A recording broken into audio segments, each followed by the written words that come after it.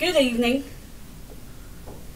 Uh, the way I came about this sermon for tomorrow is that Michael and I and Lou are in Cary, Illinois, visiting my good friend that I met over the internet through a site for people that take care of their parents. And this sermon is Exodus uh, 23. It's from the Verse 11. verse 11.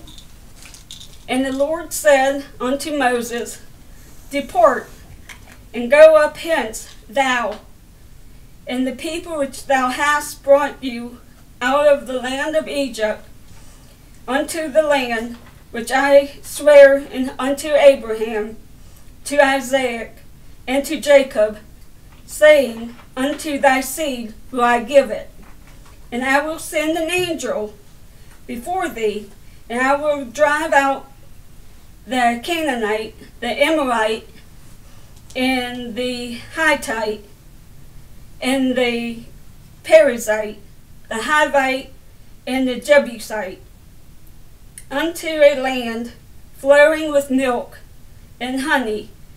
For I will not go up in the midst of thee, for thou art a stiff necked people, lest a, I consume thee in the way. And then people heard these evil tidings. They mourned, and no man did put on him his ornaments. For the Lord had said unto Moses, Say unto the children of Israel, Ye are a stiff necked people. I will come into into the midst of thee in a moment and consume thee, that I may know what to do unto thee. And the children of Israel stripped themselves of their ornaments by mouth of her Horeb. And when Moses took the tabernacle and pitched it with our camp, afar off from the camp, and called it the tabernacle of the congregation. And it came to pass that every one which sought the Lord went out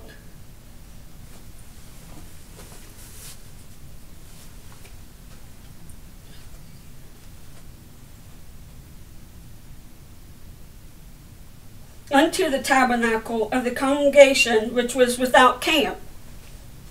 And it came to pass when Moses went out unto the tabernacle that all the people rose up and stood every man at his tent door and looked after Moses until he was gone into the tabernacle. And it came to pass, as Moses entered into the tabernacle, the cloudy pillar descended and stood at the door of the tabernacle.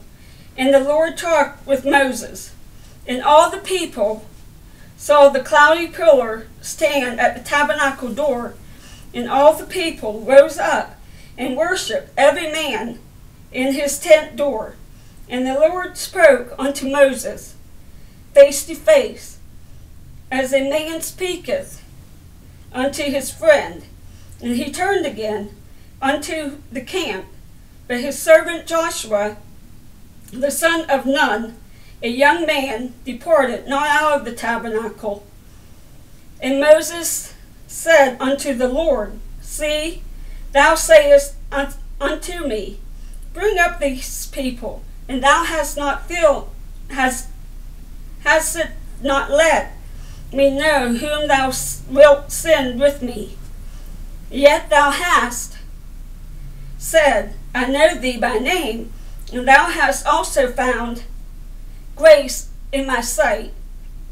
Now therefore, I pray thee, if I have found grace in thy sight, shew me now thy way, that I may know thee, that I may find grace in thy sight, and consider that this nation is thy people.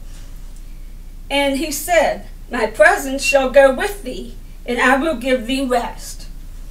And he said unto them, If thy presence go not with me, carry us not a pence.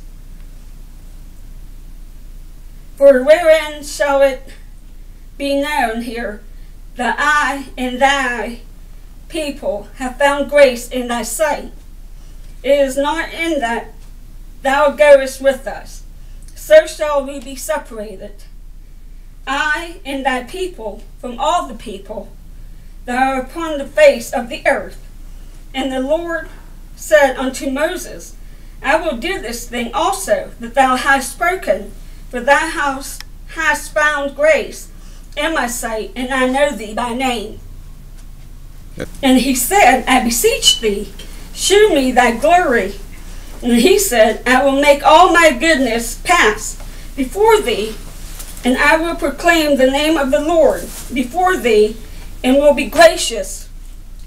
To whom I will be gracious, and will shew mercy on whom I will, I will shew mercy. And he said, Thou canst not see my face, for thou for there shall no man see me and live. And the Lord said, Behold, there is a place by me, and thou shalt stand upon a rock. And it shall come to pass, while my glory passeth by, that I will put thee in a cleft of the rock, and will cover thee with my hand while I pass by. And I will take away mine hand, and thou shalt see my back parts, but my face shall not be seen.